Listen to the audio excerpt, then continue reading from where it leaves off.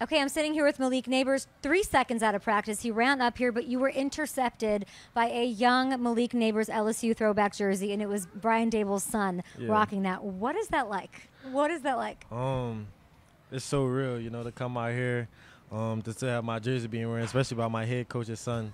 Um, you know, it shows it shows how much I impact the kids, impact the youth. So to see that, you know, is inspirational. This is a marquee organization. The Giants are celebrating their 100th year as an NFL team. There's so much history here. Have you felt the sense of belonging that rookies are longing to feel? Uh, for sure. You know, when I come out here every day, you know, fans screaming my name. Um, after practice, you know, going up to the kids, you know, them screaming my names. I'm so happy to see me. So happy uh, for me to come up to them and uh, actually see me in person. So you know, it's so real um, being out here. I love that. You know, there's insane highlights with these Yeah. grabs that you're making. Congratulations. I, I don't even know if you're going to have your welcome to the NFL moment because you're crushing it. Uh, I've seen you with the bowling. I've seen you with the Morgan Wallen on TikTok stuff. You're good at everything, seemingly. Is there anything Yeah. you're bad at, Malik Nabers? Uh, I'll probably say ping pong. I'm, I'm, I'm working on it though. We be we be playing ping pong in the locker room. I gotta get my uh, I gotta get up on ping pong. So yeah, that's I'm trying to get good at that. That's the only thing I'm bad at though. Give me the power rankings. Who's who's the leader in the, the clubhouse right, now? the leader right now in the receiver room is Slay. Yeah. Um, then it's Hyatt. Then Gunner. Um, I'm all the way at the bottom because I just started two weeks ago. But wait up, I got my own. I got my own uh, ping pong uh, table coming in, so I'm gonna be practicing.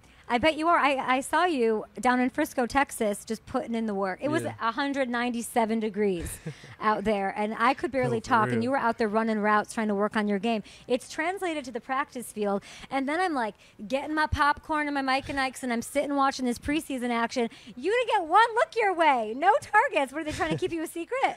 Uh, I mean, you could say that, you know, just to get me out there um, in a in an NFL game situation. But you know, that's how things are gonna go sometimes. You know, um, they might have three other people running four. You know, sometimes five receivers running routes. You know, you can't get the ball every time. But um, you know, as long as I can put wins on tape, that's really it.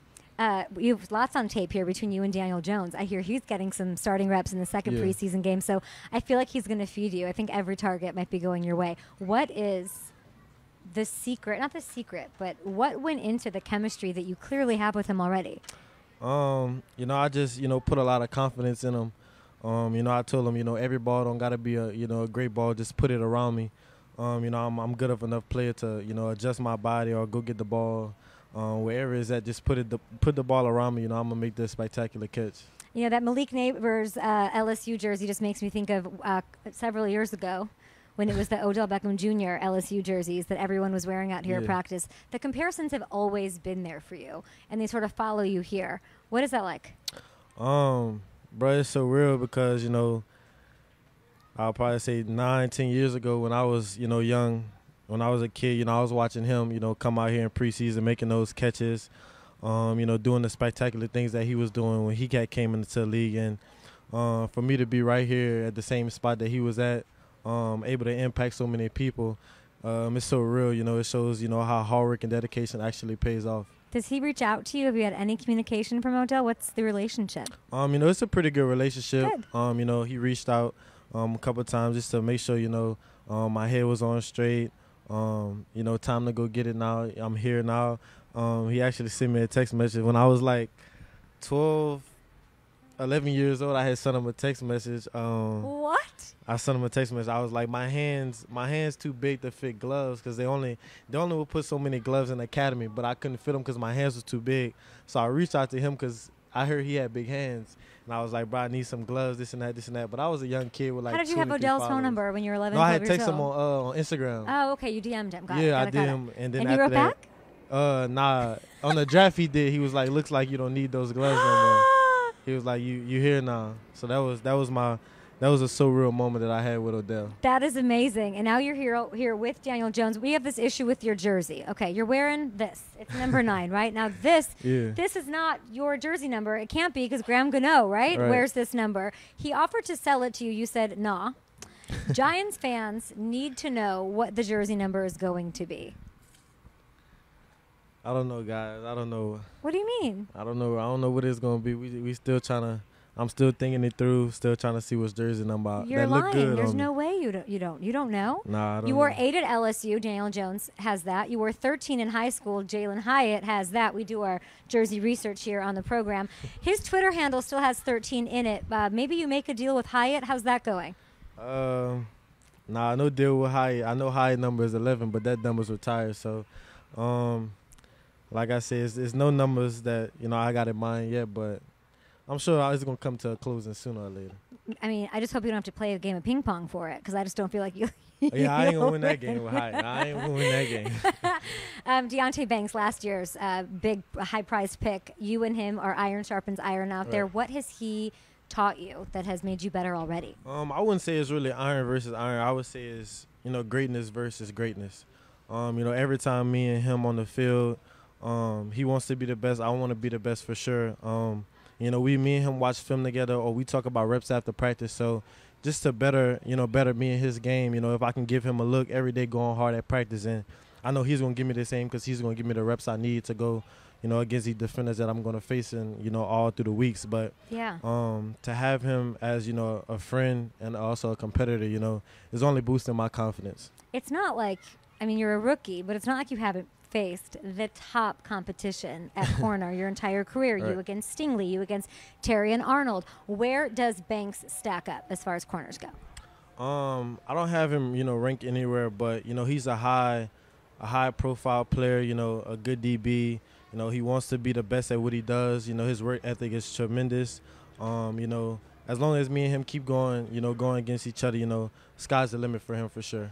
I was with the Commanders. Obviously, it's a rival for you now, but Jayden had his debut yesterday. Yeah. he is like they're trying to keep him a secret. Everyone's like, "No, he's good, he's fine." And then I'm watching him out there, like my jaw is on the ground. He made his debut yesterday. Yeah. It was like a thing of beauty. What did you make of those highlights? I know you saw them. Uh, I did. You know, he had, uh, he called me. I really didn't know he was playing, but he called me. He was like, "Why you ain't come to my game?" I was like, "I didn't really didn't know you was playing, but you know, I got to watch it.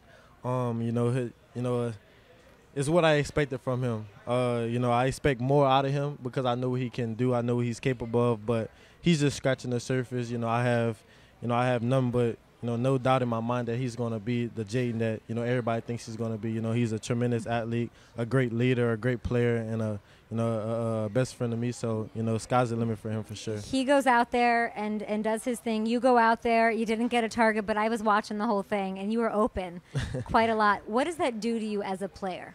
Um, it just again, you know, boosts confidence. You know, shows my coaches that you know I can get open. So you know, as long as I, like I said, to put wins on tape, um, it shows that you know, Malik is always, I guess, going to be open. You know, we can throw him the ball at any any point of the game, but you know, it's just it's plays to be made all over the field. You know, whether I don't get the ball, whether I make the huge blocks down the field for my running backs, that's all it cares. It's a it's a team effort sport. My goodness, uh, you are a you are a quarterback's dream. I feel like just the way you're talking, your humility, Yeah. you sort of understanding that the ball will come to you eventually. I think it's great. You have Jayden week two.